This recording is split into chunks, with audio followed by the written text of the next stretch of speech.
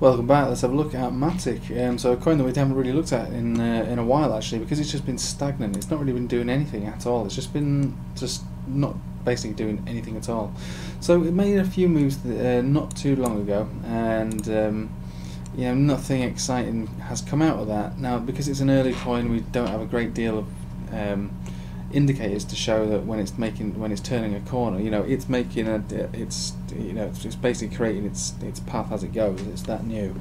Can't really look at how it reacted in previous markets because it didn't exist in previous markets. But what I can say is that even though we did find some pumps the other day, um, they weren't as significant as um, say sort of coins like Link or EOS. Um, or even XRP, uh, which rocketed actually, completely taken me by surprise because um, I was I was expecting a, a, a bit more bearish um, uh, movements actually a, across the board, but especially with things like XRP, and it's gone crazy. So it's telling me now that certain things are happening that really can't be charted for. Um, but what can be charted for is support and resistances. So what we've got here, we're looking at Matic here, Satoshi values, and we've got a big blue box of support here, of resistance, sorry, uh, which is what we'd need to really break through to start to make some actual uh, differences um, to the way that it's going to perform after that area. So the first thing is we've got to get to uh, 156 satoshis. If we can punch through that level and actually break out the other side around about 172, and then we can really actually start to look at making our way back into this main blue box territory here, uh, which would be the equivalent of the two cent mark, uh, which currently stands at uh, around 228 uh, satoshis. Uh, to around about 282 satoshis, a really big blue box territory area, and then really, uh, you know, that would be the all clear for it really, and Matic can start to make those big moves that we've all seen in the past with Matic. Um, fundamentally with Matic it did have a beta mainnet you know it, it, might be coming out on Coinbase who knows? But what I can say is this move now it's just one big move that seems to have just appeared out of nowhere. But interestingly at the same time that that happened XRP has also made another big move today. Uh, a lot of that's being consolidated at the moment actually. So um, let's not get too excited about Matic because XRP is making these moves but um, you know, we saw what happened when we made these moves. We were just sold right out of the water, uh, and actually came back down to make new lows. So, you know, these this could be happening as well. You know, let's let's just be realistic about it, but uh, let's enjoy it while it lasts.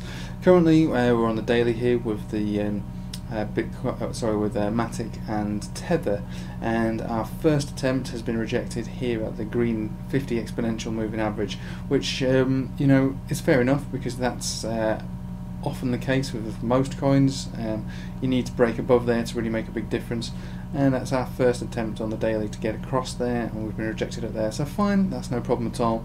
Um, the spread that we've got here with the moving averages is still pretty bearish, and when I say bearish, I'm just saying it's not bullish. And what we've got is the, uh, the, the green 50. Well, we've got the 50 simple, the 50 exponential, 21, 10, and 7, all uh, underneath each other like that. Which, uh, and again, with a downward slope to most of them, meaning that you know it wants to continue with a downtrend. But with a move like this, it will give the opportunity for these guys to start moving up. And bear in mind, this is a daily chart. So when the, when you know when we see a daily chart, you know, uh, make a move like this just over a couple of days, it's not going to give these guys much time to room, uh, much time to to move. Um, we'll put this on just to see if there's anything else we can uh, map out. Not as yet, to be honest with you, it's very early days, but what we'd like to see is, uh, first of all, break above this area here, then break above this level here, which is the uh, Ichimoku cloud, probably be rejected uh, around about here or here, which is going to be around um, uh, 1, 1.4 cent to uh, 1.5 cent. So previous uh, support levels pretty much being tested um, with Matic it, it's once it's got past this 12 uh, sort of 1.2 cent area, which is kind of where we've been rejected at now, um, then our next levels are generally around this. Uh, I'd say our, our next levels of, of, resistance are 1.35. What is that? Uh, 1.35. Uh, uh 1.45 so essentially just breaking away above this level here so again early days let's see how that goes let's have a quick another look at this um, I mean, the MACD obviously has responded to this quite well, Um, but this could all shrink in overnight. This this could all just be retracted overnight. But I kind of expect to be a bit, see a bit of continuation over this actually.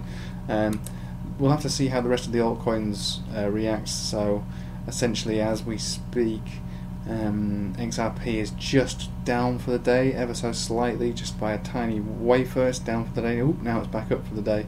So you know, think things can change real quick with this, and with uh, Bitcoin looking like it wants to go down, I would I would expect an impact on the rest of the market in some way or another because when that goes down, there probably will be a thousand dollar drop. And when it does go down, it'll be about a thousand dollar drop. Uh, what we've got here, we've got a death cross on the uh, 12 hourly, which hasn't yet played out. I don't expect, so that is where I'm getting my thousand dollar or more drop with Bitcoin, and that you know if that does play out, that will impact impact the rest of the market. Now the main question is, can these coins make a, a significant move up before that inevitable drop? Or is the drop going to take place and just take all these profits out of the water? We'll have to wait and see. I've got good feelings of Matic, and uh, Matic is making massive moves just as we speak right now. It's it's really it's probably looking to test these areas now. So um, probably the first area of rejection, 156. Um, and if we can break above 172 satoshis, we kind of will be laughing. Right, I'm going to sit back and watch the the show, and maybe take some some longs on actually. Um, now you can do a bit of margin trading with with Matic on Binance, so why not take advantage of this? Thanks for watching. Hope you have a nice day. Take it easy.